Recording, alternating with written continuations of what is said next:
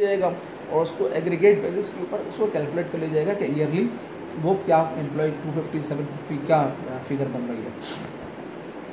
कुछ ऐसी कंपनीज़ हैं, अब हम आ जाते हैं जी अगली स्लाइड के पर कुछ related to exemption to certain companies कुछ ऐसी कंपनीज़ हैं जिनको एग्जामेशन है कंपनी एक्ट की, कुछ रिक्वायरमेंट्स है।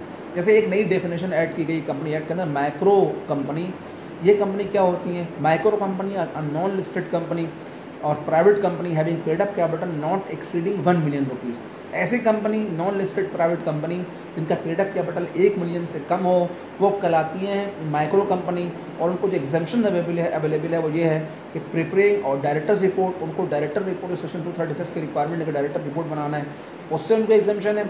ऑडिट की रिक्वायरमेंट यानी जो जो आपको चार्टर्ड अकाउंटेंट से या कॉस्ट ऑफ़ मैनेजमेंट अकाउंटेंट से ऑडिट कराना है, जो रिक्वायरमेंट होती है ऑडिट की, उससे भी इनको एग्जामेशन है कि इनको ऑडिट नहीं कराना है।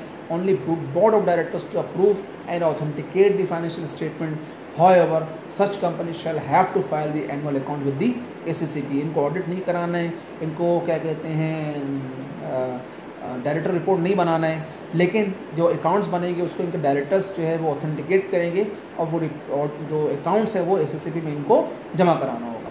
सेकेंड कैटेगरी जिनमें कुछ एग्जामेशन है, वो small size company A non-listed private company having paid up capital greater than one million, but not exceeding three million. ऐसी कंपनी जिनका पेड अप कैपिटल एक मिलियन से ज़्यादा है, लेकिन तीन मिलियन से कम है, उनको डायरेक्टर रिपोर्ट प्रिपेयर करने की एग्जामेशन है। तो डायरेक्टर रिपोर्ट प्रिपेयर नहीं करेंगे। However they required to go through the statutory audit process through any chartered accountant और practicing cost and management accountant या तो उनको चार्टर्ड अकाउंटेंट से या किसी practicing cost and management accountant से ऑडिट कराना पड़ेगा। इनको फाइलिंग की रिक्वायरमेंट क्या कहते नहीं है, ये फाइलिंग नहीं करेंगे, ये सिर्फ़ ऑडिट कराएँगे और अपने पास अकाउंट रखेंगे।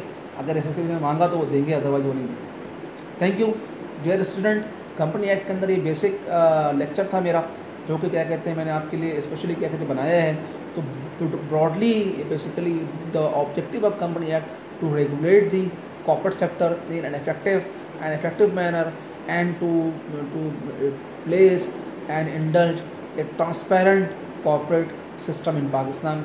Thank you very much.